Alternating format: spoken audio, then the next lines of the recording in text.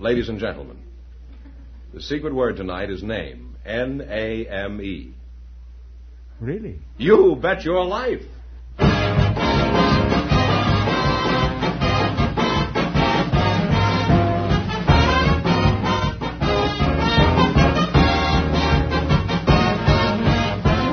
It's Groucho Marx in You Bet Your Life, comedy quiz series produced and transcribed from Hollywood and brought to you by the more than 3,000 DeSoto Plymouth dealers.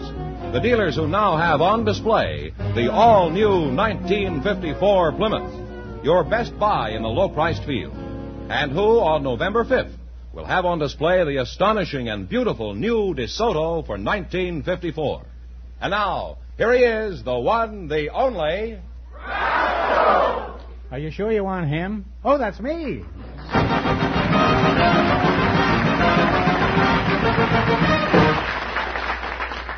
Well, here I am again with 1,500 smackolas for one of our couples. Well, Groucho, I um, saw an interesting article in the newspaper about a married couple, and I told them to come and see us next time they were in Hollywood, and maybe they'd get on the show. And they did, and here they are, Mr. and Mrs. John Peter Fedorowicz. Would you come in, please, and meet Groucho Marx? Well, how do. You do? Welcome, folks, for the DeSoto Plymouth dealers. Say the secret word, and you'll take home an extra hundred uh, smackolas. The secret word is a very common word, and it's something you always have with you, I presume. Mr. and Mrs. John Peter Fedorowicz, huh? That's right. Where are you from, uh, Mr. Was born in Rotten, Poland. I've been here over 40 years. You were born in Rotten, Poland? Or Rotten, Poland. What kind of a place is Rotten, Poland? Uh, I don't know, a long time since I've been there. How old were you when you uh, fled from there? 60? You were 60 no, 60 I'm when you 60 left now. there? You are 60? Gee, you don't look it. What sort of work do you do? I'm a roofer. Well, top of the morning to you. what does a roofer do? Fixes the roofs.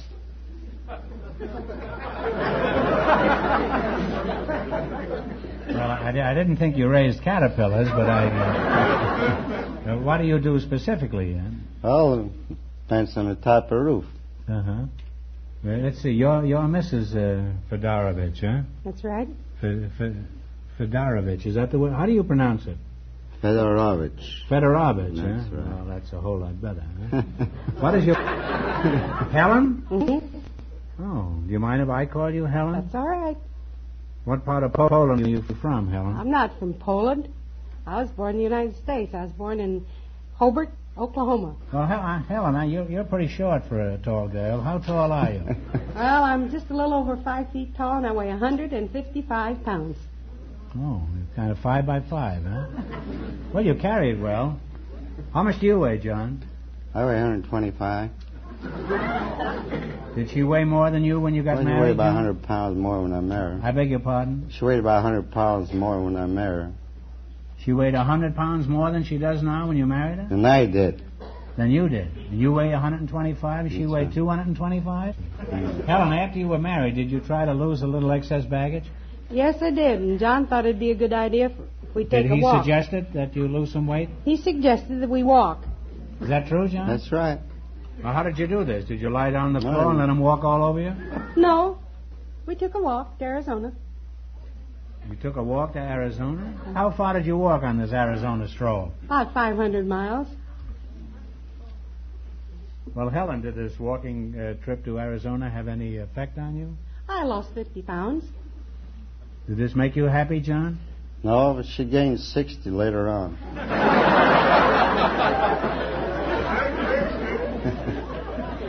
Well, John, did you try any other reducing measures, like walking to Shreveport? Uh, No, we didn't walk to Shreveport, but we went to, we walked to Spokane, Washington. you, you walked to Spokane? That's right. Well, how far is that as the crow flies? We didn't uh, fly, we walked about Well, some, he keeps topping me. I guess that's, that's because he was a roofer. How did you make out on the Spokane trip, Helen? Did you did you lose any uh, any blubber, any weight? I lost about 85 pounds. Okay, I'm ready for the next question. John, how much did she gain? Well, she gained uh, 115 pounds. This could be I was serious. 265. Where'd you go this time? Alaska? No, we went down to Morongo, Imperial Valley, Mexicali, Mexico, up in San Diego. Get to Los Angeles. She didn't lose enough. She we went to take a walk down to Fresno or to the coast. We walked all together about 2,000 miles in four months. And uh, you say, how much do you weigh now? 155. Oh, well, are you satisfied with her Oh yeah, weight, huh? sure. I can lift her now. Before I couldn't budge her. Did any? You mean you you did this whole thing just so you could lift her? That's right. And so she feel better and look like something. Oh. well, I think she looks pretty cute. Now she does. Yeah, I see it before. Well, the next time she puts on a hundred pounds, bring her around, will you? well, this has been a pretty heavy conversation we've had here, but uh, you can lighten your load by winning a lot of money, and I hope you do. All you got to do is run your twenty dollars and more than our other couples, and you get a chance at the big question. These are all French words and expressions that we have adopted for cooking and serving foods. Here's your first question: How much of the twenty will you bet? 20? You don't consult this with Skinny here at all. Huh? Go ahead. That's the answer. What about it, Slats? Are you in a Let her go ahead and do what she wants. All right, you're going to bet $20. What is the French word that means a small cup of coffee taken at the close of a meal? Demitasse. Right. Well, you're on your way. You have $40. All right, how much of the 40 are you going to bet on your second question? All of it? You ignore him completely, eh? what are the small cubes of toasted bread served with soup called? Croutons. That's right, croutons. You now have $80. Did you carry a menu on this trip you took to Phoenix, Seattle? No. No. Here's your third question. You have 80 bucks. How much you going to bet? All of it? Slices of bone meat or fish are called what? Filet. Filet is right. You now have $160. I always thought Filet was in Pennsylvania. Now, here's your last chance to beat the other couples. How much will you bet? All of it. All of it, huh? Whites of eggs whipped to a standing froth with sugar is called what?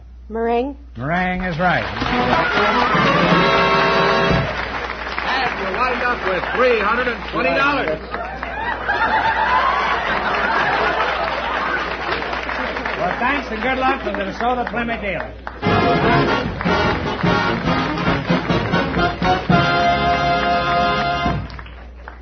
Fenneman, everybody's talking big, bright, and beautiful these days. Let's listen in.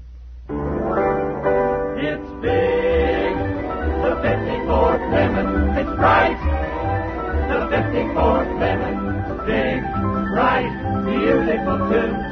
The 54 Plymouth is the car for you. Yes, the new 54 Plymouth.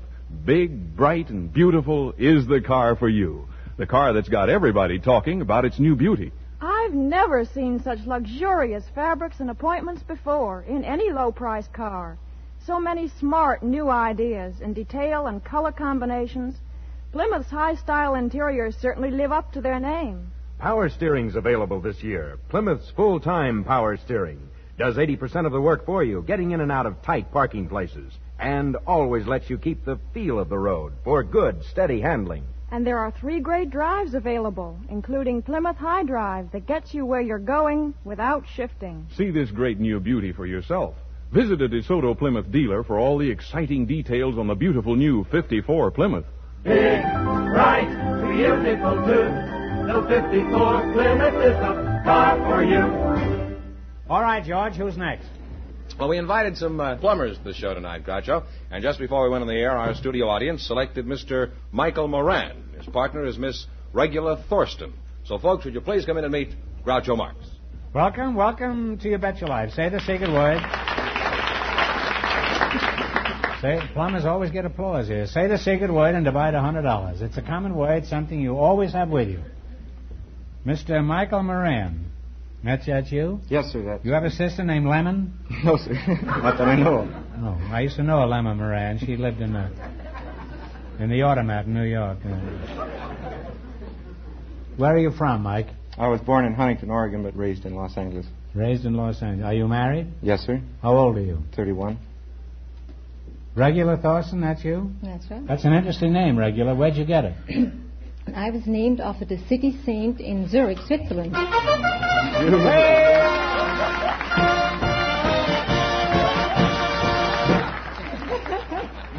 you said name. That's the secret word. So you get 50 smackers. Well, and uh, the plunger over here gets $50. thank you, Groucho. Thank you, Groucho. Now, uh, uh, what were you saying about uh, you were named after a, a plumber named Lemma Moran at the Automat in New York? Groucho, you got it all wrong. I was Oh. named after a city saint. A city saint? Yeah, that's right, in Zurich, Switzerland. You come from Switzerland? I surely do. I did at least. Uh-huh. How long ago? Oh, now, Groucho, you wouldn't ask me embarrassing questions. Yes, I would. That's the way I make a living. Huh? Now, uh, how did you get the name? Uh, you were named after a city saint. That's right. How long ago was this? Oh, many years ago. How long ago? In this century. In this century. At the turn of the century? A little later. Oh. Why did you come to this country Regula? Oh. Just to outwit me? no. You succeeded in so far. no.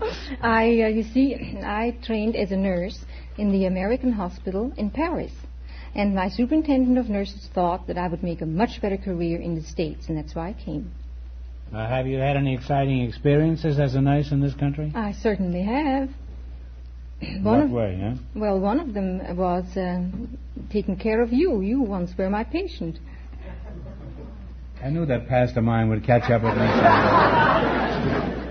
well, what happened? Did I did I emerge alive?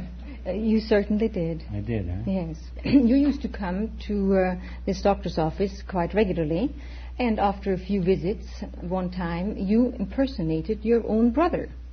And you did it so convincingly that you had me completely sold. So I almost got fired. But that isn't all. Two weeks I later. Two weeks later, you sent your brother into the doctor's office, and you had your brother impersonate you. And to make matters even more complicated, you know what the doctor's name was? No. Dr. Marx. Really? And that isn't Rudolph all. Marx? Rudolph Marx. Oh, and Oh, yeah. that isn't all. He's a nice guy, Rudolph. Isn't he though? I want to say, after you left that doctor's office, I impersonated Rudolph Marx. I didn't But that It isn't was all. on Prof. Wednesday. It was his day off, and they didn't. They don't come in on Wednesday. You know, doctors don't work on Wednesday at all. Wednesday, Friday afternoon, Saturday, and Sunday. If you want to die, you got to do it Monday, Tuesday, Thursday. You know, speaking of hospitals, it reminds me of the story about Marc Connelly. He wrote. He's a famous playwright. He wrote Green Pastures and many other plays. Anyway, he had gone to Cedars of Lebanon to visit a friend there who had had a tonsillectomy. And he got in the elevator there at Cedars. And the elevator operator says, What floor? And, and he said, Men's tonsils, please. That's a true story, eh? Uh, are you still at that uh, same hospital Regula? No, I'm not. I've quit the nursing profession. They always do that after they get me. Mike, who do you work for? Uh, Sicking Plumbing. Is it a big outfit? One of the largest in town, Groucho. We have about 40 plumbers on tap. 40 plumbers on tap. Say, that's pretty good, isn't it? You know any roofing jokes? No, sir, I Is that one of the little jokes you plumbers use in the trade? Well, you might call it that. Mm-hmm. And this for this you charge five and a half an hour? Not for the jokes. Have you ever had any unusual experiences as a plumber, like fixing a leaky faucet in less than eight hours? Yes. Uh, I was fixing garbage disposal one time when I'm, I had to take the garbage disposal out of the sink to, to repair it. And in Is that why they call it the Sinking Brothers? no. and in order to remount it, I had to lay on my back under the sink and put the spud through the hole in the sink, which is just actually uh, like a big donut. So I'm laying there tightening the screws up, looking right up through the sink, and this housewife comes walking over me and turns the water on. right in my face. And she says, she says, I didn't think it'd run on you. I said, what do you think it's going to run up?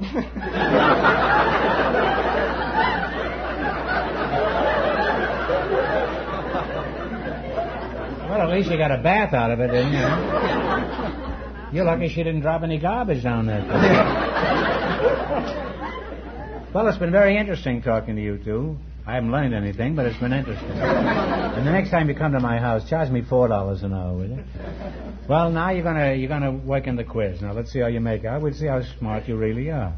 All you got to do is run your twenty dollars in the more than our other couples, and you'll get a chance at the big money later. In the race for the $1,500, the first couple won $320, and the secret word is name. Uh, let's see how high I can bid you $20. You selected instruments in common use as your category. Is that right? Yes, sir. That's right. Most of us have seen or heard of these instruments. Uh, these are not plumber's tools, you know. No. Now let's see if you can identify them. You have $20. How much are you going to bet? I think you should bet uh, 19 Talk real loud now. $19.98. Okay. No, we didn't hear a word Uh, you said. all right. 1998. 1998. Sounds like Macy's basement. Yes, it does. Have you ever thought of quitting plumbing and going into uh, going into show business? No, sir. Everybody's in show business now. You can get yourself a panel show in no time. what is the instrument used by doctors to determine the heartbeat? The stethoscope. That- that's right. That's a stethoscope. You have $39.98 now. Uh, what does that remind you of? Uh, Gimbal Can't think of anything. I'm concentrating right now. Uh, what is the? How much you betting? Just all but two cents, so it'd be thirty-nine eighty-six. wouldn't it? 96. 96. 96. uh. What is the surveying instrument called that is used to measure angles? It is mounted on a tripod. What is the surveying instrument called that is used to measure angles? It is mounted on a tripod. I would say datum, but isn't correct. Yeah. Datum is the only one I can think of it. Datum. One answer? Is that what you decide on? Yes, sir. You were I know it too, but I No. can't think of it. transit. Transit. Oh, That's that's a shame. Just used it the other day. You now have two cents. Wow. We're rich. How much of the two cents you're going to bet? Go for broke. Go, go, go. Go for broke. What is the instrument used for marking exact time in music? Um, no, no. Just a minute. Um, I know it as well as. Afford.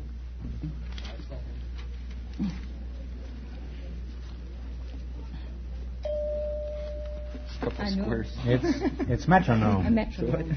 Well, they've Well, now lost- you have nothing. Now All there's gone. Nothing. All gone. Now I give you one more question. You get this right, and you split twenty-five bucks. A popular figure of early American history was Martha Washington. What was her husband's name? George Washington. Absolutely right, George Washington. Thanks you, for George carrying it Thanks and good luck to the DeSoto Plymouth dealer.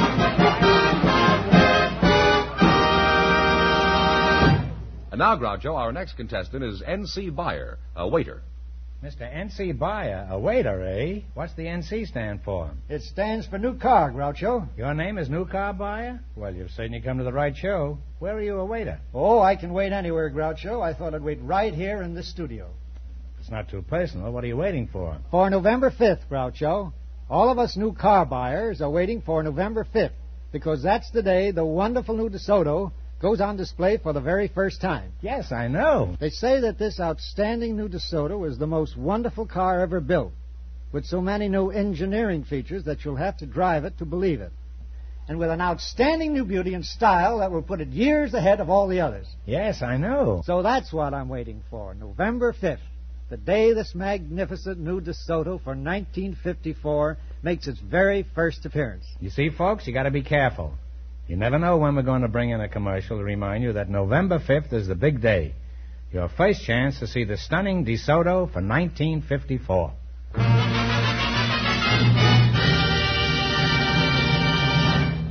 Okay, George, who's next? Well, Groucho, we have a, a young married couple for you now, Mr. and Mrs. Edward Schefflin. So, folks, would you come in, please, and meet Groucho Marx? Welcome, welcome.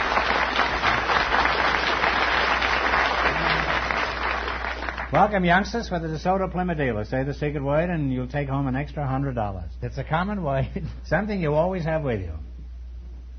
Mister, what are you calling him? Fenneman, what are you calling him Mister for? This man's a general. Are, are you a general? No, Groucho. I'm a master sergeant in the Air Force. Oh. How how old are you, uh, Sergeant? 33. Thirty-three. Huh? Well, you're a fine-looking lad. Uh, Mrs. Uh, Schefflin. Mhm. Why, why, I don't want to call you Mrs. Schefflin. That's uh, too dignified for me. What, can you call me Margaret? Uh, well, I could try. Margaret, I notice you're holding pretty tight to your husband there. Uh, do, you, do you feel all right? Oh, I'm feeling fine, thank you. Oh. But um, I sometimes hold on to him this way when we're walking around because my left leg is paralyzed. I had polio in 1942. Oh, is that so? Mhm. I'm sorry to hear that. Would, Oh, you like to sit down? Oh, no, I'd really rather stand. You would? Yeah. I sit down watching one thing another all day. And No. Uh-huh. I'd rather sit down myself. I didn't know how you felt. Well, you're sure you won't be too tired, huh? No, I'll be fine. All right. Does your polio seem to be getting better as time goes by? Well, it's a gradual process, Yeah. but uh, it's been getting better, and strangely enough, having a baby seems to help. How old is your baby? Well, we have four little girls, but the youngest one is five weeks.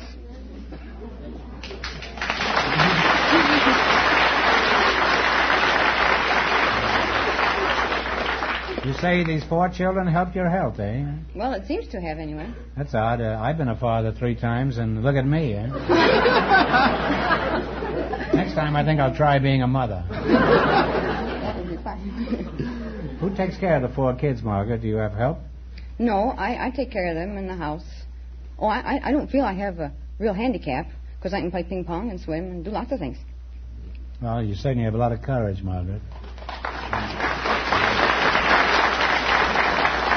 Well, Next time I get a little ache or pain, I, I don't think I'll complain quite so much. maybe the little ones are bad too. Uh, I had a headache the other day, and I sent for an ambulance. Let's find out some more about you two. For example, what was there about Margaret that prompted you to uh, pop the question? Well, I thought she was very nice looking, and she was a good conversationalist, and pleasant, courteous, and above all, she was very smart. You mean by trapping you, she was smart? Well, she can she can read a book in say less than an hour, and she can tell you uh, everything that she's read. Well, can she cook? She can do anything. You're pretty proud of her, aren't you, huh? Oh, that I cer- am. And I certainly don't blame you, Sergeant. You think she'll win a, lot, uh, win a lot of money for you here tonight? Oh, Just as good as money in the bank. Why, what makes you think she's going to walk away with the loot here tonight? Well, she used to be a quiz kid for about three years. A quiz kid? Jumping butterballs were wiped out.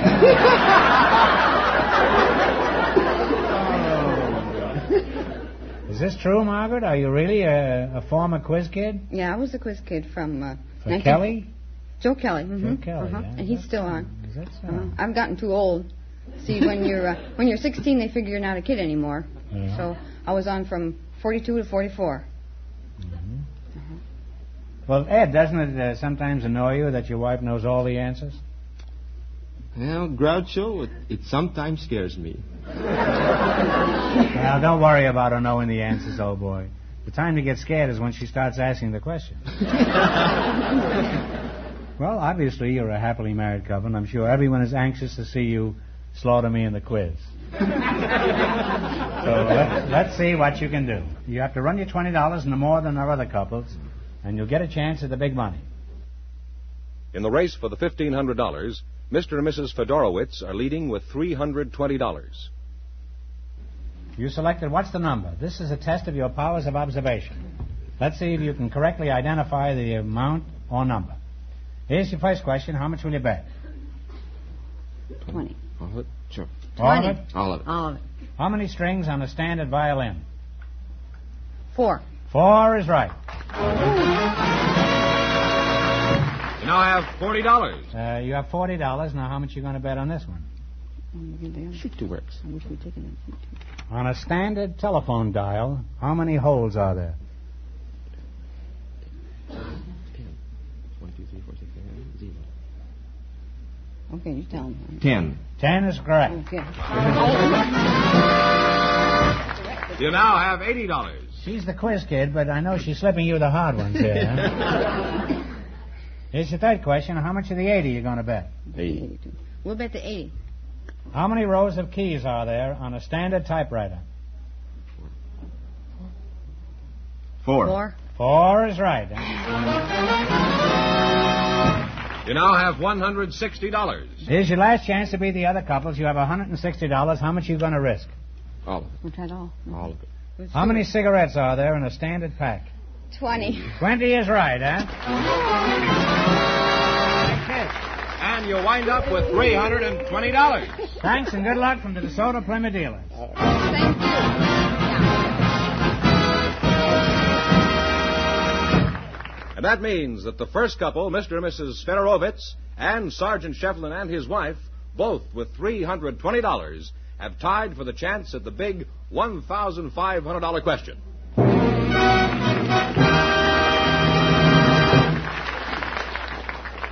Groucho, do you realize it will be here November 5th? I didn't even know it had been away. What are you talking about? Well, the day is Thursday, November 5th. Certainly, and that's the day the magnificent 1954 DeSoto goes on display for the very first time. That's right. Thursday, November 5th is D-Day. D for the stunning new DeSoto for 1954. I know it all the time. Well, then why did you ask me what I was talking about? Well, for some reason I thought you were thinking about a gorgeous blonde. Well, why should I be thinking about a gorgeous blonde when I can remind the folks that November 5th is their first chance to see the dramatic new DeSoto for 1954? Fenneman, I shall treat that question with the contempt it so richly deserves. Folks, go to your nearest DeSoto Plymouth dealers on November 5th and see the wonderful new DeSoto for 1954. And if you run across that blonde, tell her Groucho sent you.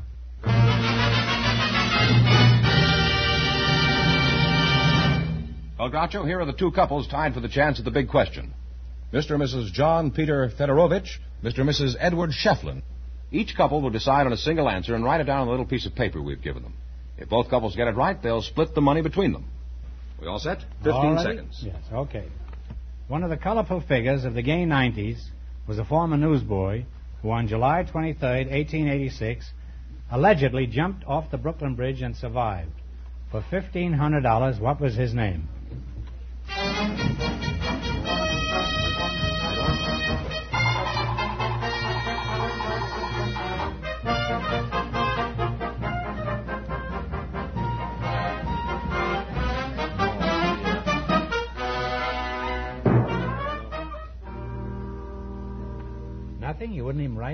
Didn't remember. Oh, I'm sorry. Mr. Fedorowicz, huh? The gentleman over here is right. It's Steve Brodie. Oh, And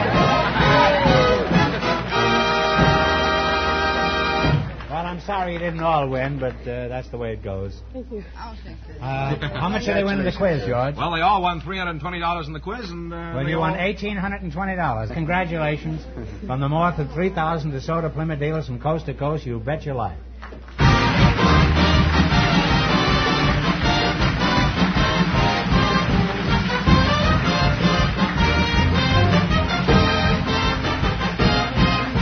Be sure to tune in again next Wednesday night at the same time for the Groucho Marx Show, when the big question will be worth $1,000.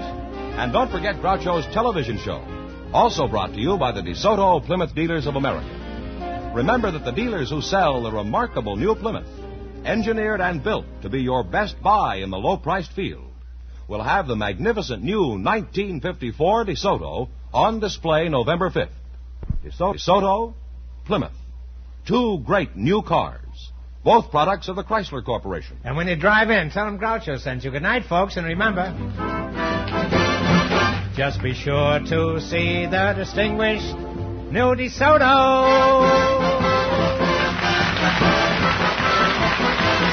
Friends, tonight your DeSoto Plymouth dealers from coast to coast salute the National Safety Congress, which is celebrating its 41st anniversary.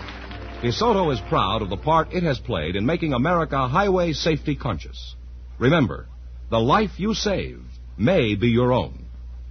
You Bet Your Life, transcribed from Hollywood, is produced by John Guedel, directed by Robert Dwan and Bernie Smith, music by Jerry Fielding. This is George Fenneman signing off for the more than 3,000 DeSoto Plymouth dealers from coast to coast. You Bet Your Life is heard by our armed forces throughout the world.